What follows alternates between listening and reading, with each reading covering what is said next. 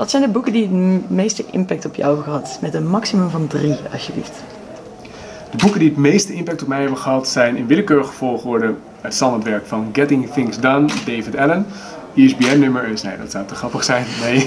uh, Deep Work, heel mooi van Carol Newport. En eigenlijk ook wel recent zijn nieuwste boek, Digital Minimalism. Dat zijn mijn top drie, nou willekeurig volgende misschien, maar dat zijn drie boeken die mij heel erg hebben geholpen om meer focus en grip te krijgen in de hectiek van de dag. Had uh, elk boek ook een andere rol in jou meer focus geven in, alle, in alledaagse beslommeringen? Ja, elk boek heeft wel een zijn eigen rol. Want Getting Things Done is meer het framework. Dat gaat dat, dat van hoe doe je het eigenlijk. Um, Deep Work is eigenlijk het belang. Waarom is focus zo belangrijk? Deep Work versus shallow work, meer zo oppervlakkig werk. En Digital Minimalism gaat eigenlijk nog een stapje dieper. Van hoe het effect, ja, hoe digitale systemen ons leven kladderen als het ware. Helemaal vol raken, helemaal vol proppen. Hm.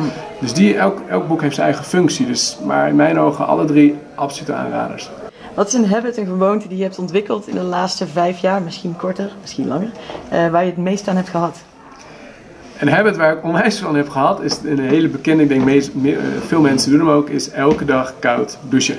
En nog steeds een beetje koud afdouchen. Dus niet helemaal koud douchen, maar koud afdouchen. Het is een hele simpele gewoonte, wat ontzettend gezond is, uh, fysiek. Maar ook mentaal van, doe je shit. Het belangrijkste, doe het gelijk eerst. Maakt je mentaal ook in mijn ogen sterker. Wat is het beste advies wat je ooit hebt gekregen? Moet ik even wat lang over nadenken. ja, het, beste advies wat ik ooit heb gekregen, is een beetje algemeen, is een beetje door mijn ouders erin gegoten, haal het beste uit jezelf. En dat vind ik een hele mooie, het ehm, is ook een beetje millennial eigen misschien, maar bijvoorbeeld een bepaalde drive hier om haal het beste uit jezelf, wat het ook mag zijn.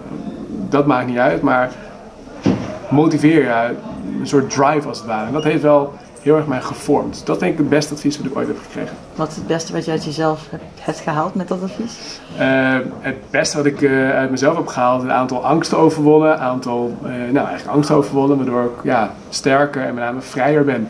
En relaxer ben. En daar ben ik onwijs trots op. Een voorbeeld van? Nee. Lekker. Wat is iets wat jij gelooft dat tegengesteld is aan wat alle andere mensen geloven? Iets wat nog heel erg hardnekkig is blijven hangen, is dat multitasken slecht is. Dat is totaal achterhaald. Multitasken is fantastisch om meer focus en rust te krijgen in de hectiek van de dag.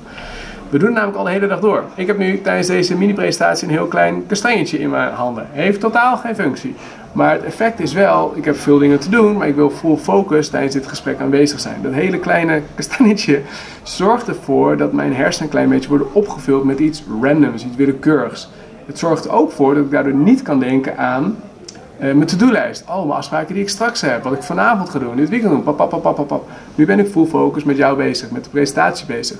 Dus het zorgt voor, voor rust. Multitasking is heel erg goed. Mits het geen bewuste aandacht vraagt. Ga je iets doen wat heel veel bewuste aandacht vraagt. Bellen en e-mailen tegelijkertijd. Dat is een no-go.